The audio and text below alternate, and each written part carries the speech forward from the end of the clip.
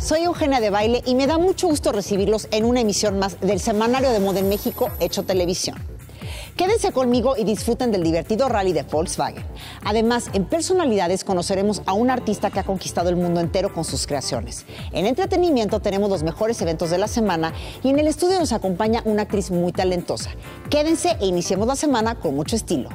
Esto es Estilo DF. Comenzamos. Hoy, en Estilo DF. Ocesa nos presenta divertidos shows en entretenimiento. En personalidades, conoceremos a la talentosa Marcela Cadena. Y en motor, acompaña a los equipos en una nueva aventura en el Rally Volkswagen. No te pierdas la entrevista exclusiva con nuestra celebridad de portada. Y además, aprenderemos a preparar una exquisita bebida. La Ciudad de México siempre tendrá algo con que sorprendernos. Vamos a ver la agenda de esta semana con más estilo. Para comenzar la semana, aquí te presentamos los eventos con más estilo de la Ciudad de México. Y si de estilo hablamos, no puedes perder la oportunidad de asistir a uno de los eventos más impresionantes de toda la historia. Immortal Michael Jackson regresa a la Ciudad de México del 20 al 24 de agosto en el Palacio de los Deportes.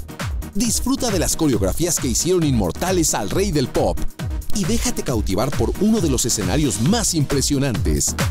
El look recomendado para este evento es sin duda los skinny jeans, pero no olvides darle el toque especial con un sombrero al mero estilo del príncipe del pop. Los creadores del reggae latino, Los Cafres, regresan a la Ciudad de México este próximo 30 de agosto al José Cuervo Salón, en su gira para promocionar su nuevo álbum 25 años de música. Prometen ofrecer un concierto sin precedentes.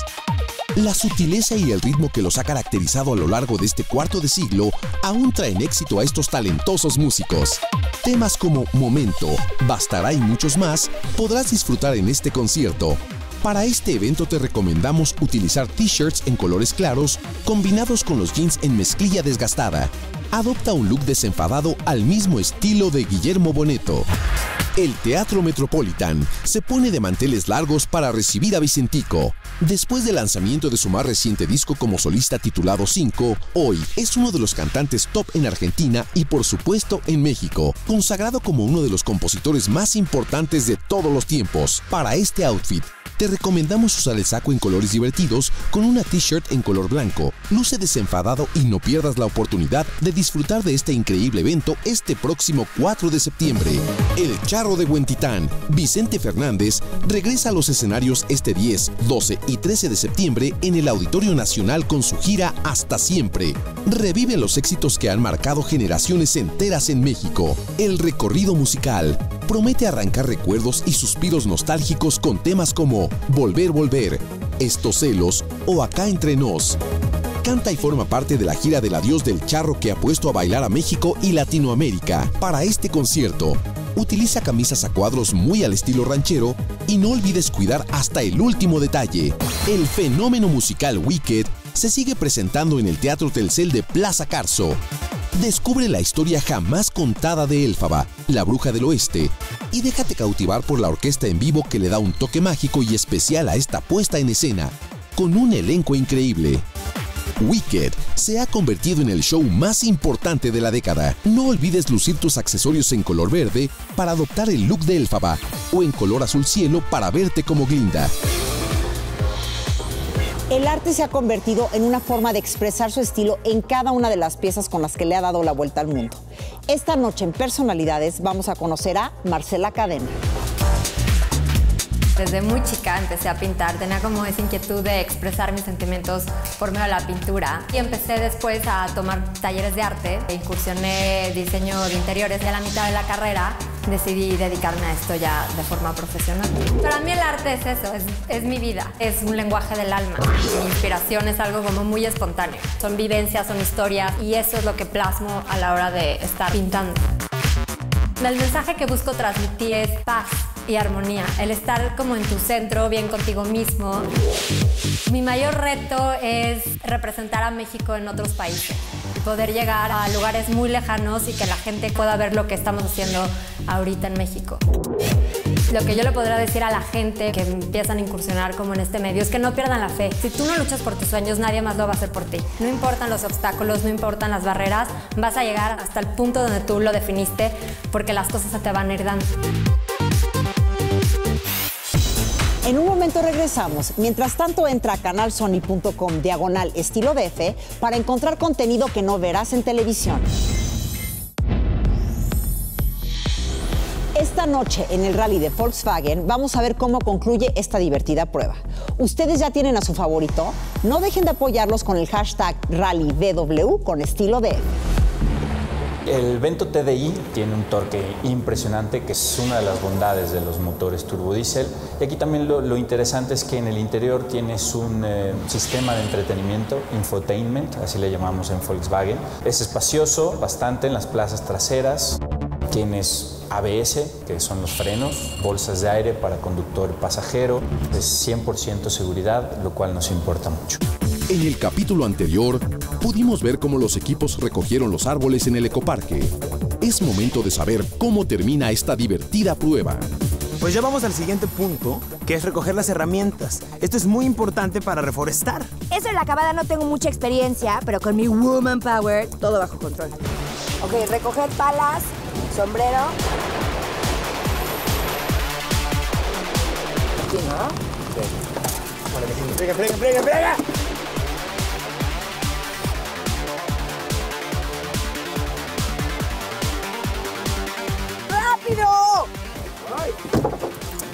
Trépese, mijo. ¿Listo? Pues tengo que confesarte que tengo un secretito. La jardinería se me da bastante bien. O sea, sabes todo. Básicamente sí. Digo, normal, jardinería. Venga, vamos a hacerlo. Ok, derecho. Tenemos que agarrar las palas, los guantes, el sombrero y vámonos. Ok, no nos Derecho. pueden ganar, no nos pueden ganar, venga. No, hombre, Andy, súper atrás. Aquí estás, Aquí aquí, es, estás. ¿no? Aquí es. Perfecto. Venga, venga, venga, venga, venga, venga, venga, venga.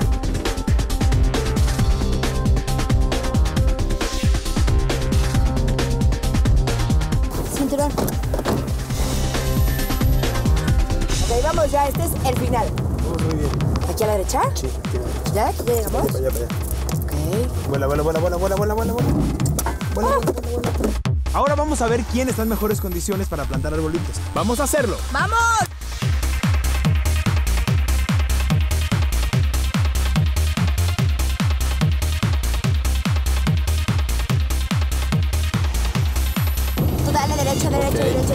¿Segura que sí vamos Estoy bien? segura. Y ahora sí nada más tenemos que recuperar el tiempo plantando los arbolitos, eh, bueno, después de todo lo que perdimos, ¿no? No perdimos tanto tiempo y aparte tú dijiste que eras buenísimo en jardinería, entonces yo creo que nos va a ir muy bien, ¿no? Claro que sí.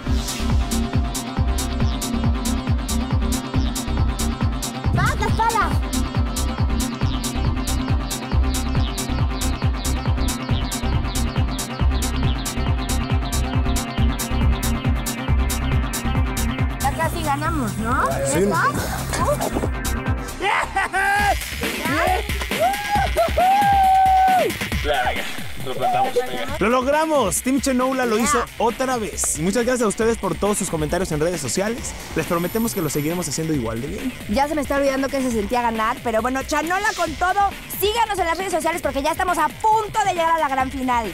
¡Chanola!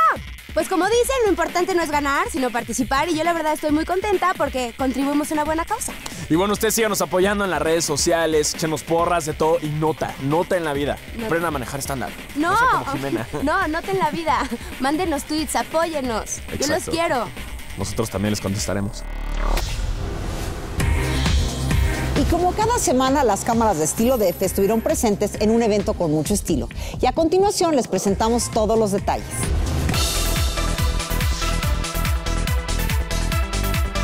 Increíble este evento de Viaja por todo México. Divertido, ágil, informativo. Con Ana La Reguera, que es un bombón de mujer. Con Mijares, que es un hit. Es una campaña bien importante porque nuestro país depende muchísimo del turismo, es una forma de ingreso pues primordial para la gente que vivimos en este país. los destinos, los hoteles, eh, lo que mostraban, las haciendas, la comida, todo. Se ve padrísimo. Dan ganas de estar ahí, ¿no?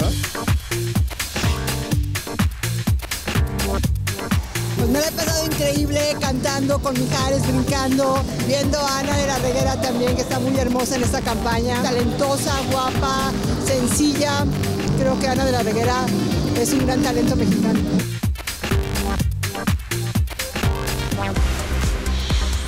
Y esta noche en la entrevista nos acompaña una actriz muy talentosa. Vamos a ver de quién se trata.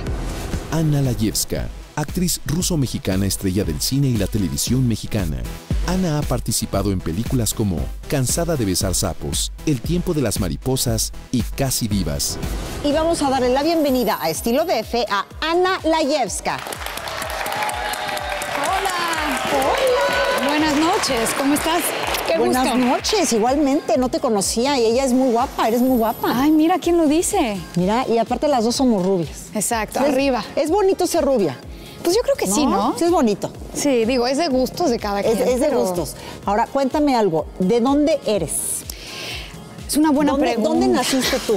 Yo nací en Ucrania, crecí en Moscú y a los nueve años llegué a México, crecí en México y he continuado en México hasta la fecha. Digo, con sus... Tienes un poquito de acento. ¿En serio? Un poquito. De repente dices palabritas que sí se oye que eres rusa. ¿De verdad? Sí.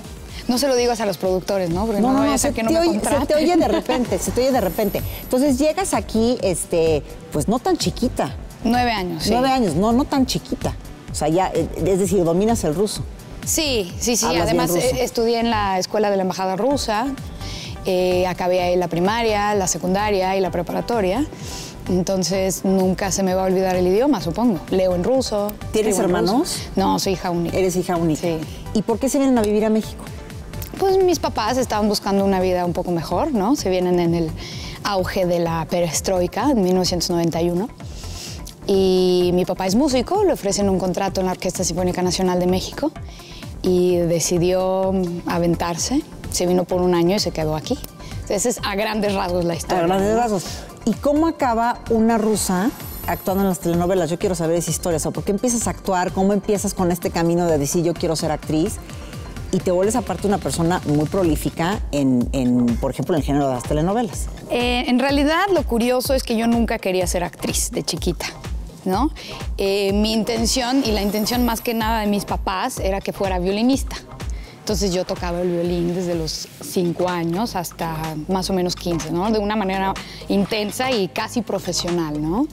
O sea, yo tenía en la cabeza muy claro que eso es lo que yo iba a hacer el resto de mi vida. Entonces, eh, en 1997 se estaba grabando una telenovela en México eh, que se llamaba ¿Alguna vez tendremos alas? Y el protagonista, que era Humberto Zurita, era un director de orquesta. Y necesitaban músicos para ciertos efectos de la escena para hacerlo más realista, ¿no? Entonces contrataron literal una orquesta entera. Y dentro de esa orquesta estaba yo, como una de las extras, ¿no? Extra violinista. Parece que o les quedaba corto el capítulo o querían reforzar un poquito la historia.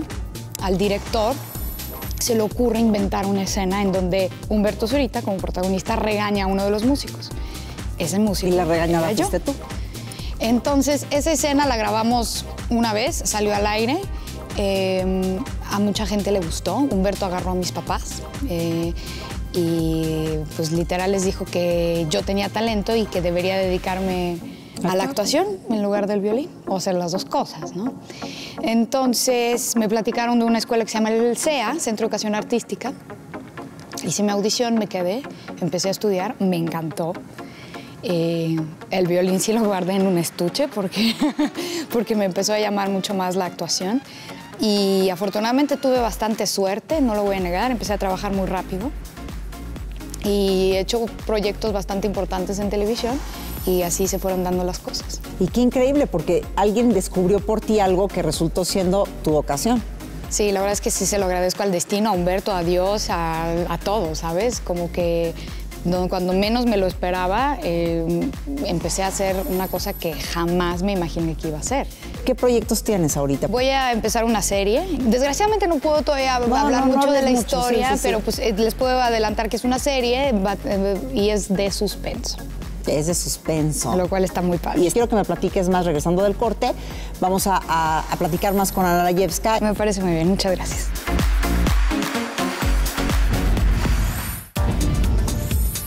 Y estamos de regreso con Ana Layevska, que nos está platicando acerca de sus proyectos, de su vida, de todo. A ver, platícame algo. Viene la película de Cantinflas. De hecho, aquí estuvo Luis Gerardo Méndez, que es quien hace a Chilinsky en la película. Sí, correcto. Y tú haces el papel de Miroslava. Sí. A ver, cuéntame eso. Eso está increíble. Sí, la verdad sí. Sí, esos de esos regalos que te da la vida, eh, que el poder interpretar a una diva del Hermosa. cine mexicano e internacional, la verdad es que sí, estuvo increíble.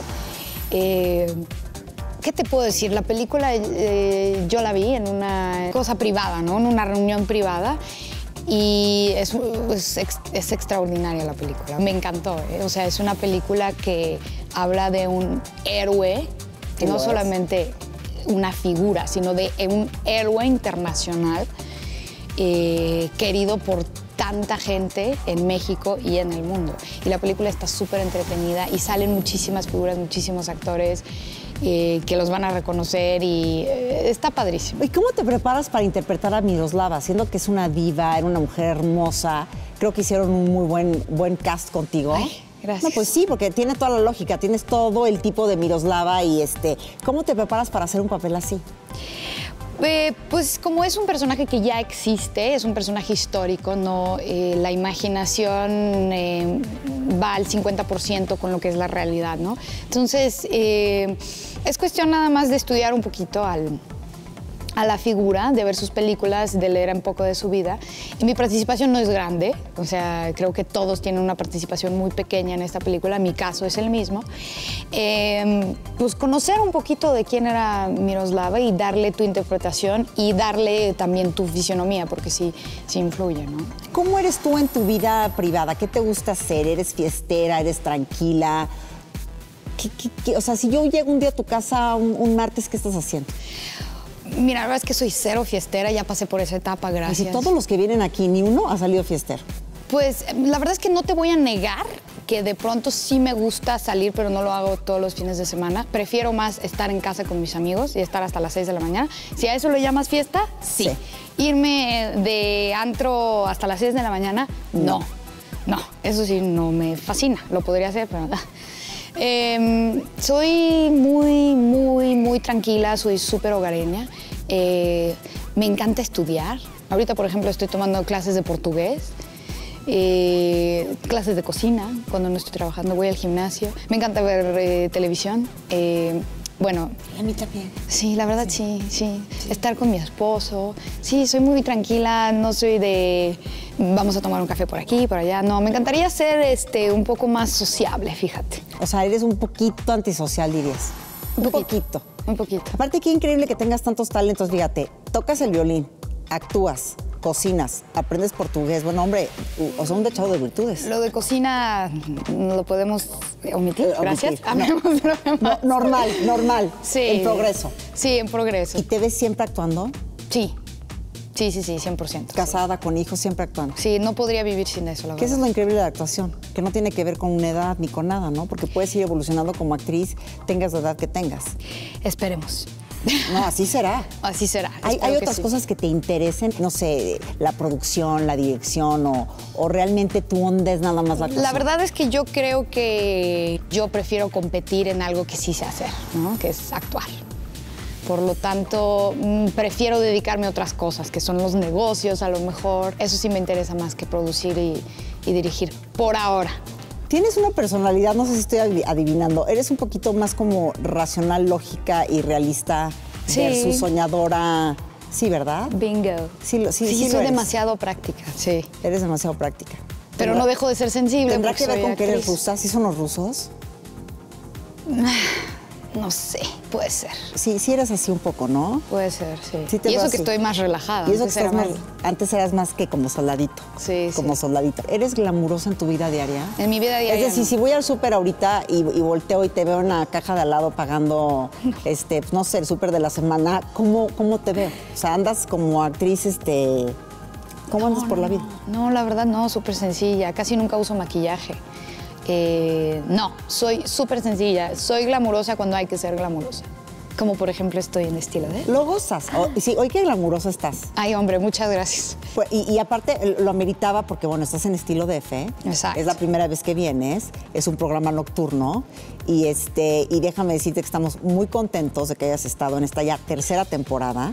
No, Eh, estamos ya a punto de, de terminar esta temporada y hace mucho queríamos tenerte aquí y ahora que estás de regreso en México hubo la oportunidad de que vinieras aquí al foro y ha sido un deleite platicar contigo y darme cuenta que eres una mujer muy sencilla, que eres una mujer con los pies en la tierra, talentosa, guapa y con muchas cosas por, por delante. Y creo que, que, pues, quedan muchas cosas para hacer co- contigo, ¿no? No nada más las, las telenovelas en donde has sido muy, muy popular, sino que está increíble ahora que vienes con un proyecto de, de- de cine, vienes con un proyecto de series y pues ya tendrás que regresar para contarnos qué más viene para Ana Layevska. Ah, yo feliz, muchísimas gracias. Y vamos a darle un aplauso a Ana por haber venido el día de hoy, estilo de. ¿Te la pasaste bien? Increíble. ¿Te gustó? Me, encantó. ¿Regresarías? 100%. Ok, un aplauso a Ana. Ay, gracias. Ay, bueno, hoy sí hay público. El público. Ay, gracias, El gracias. público.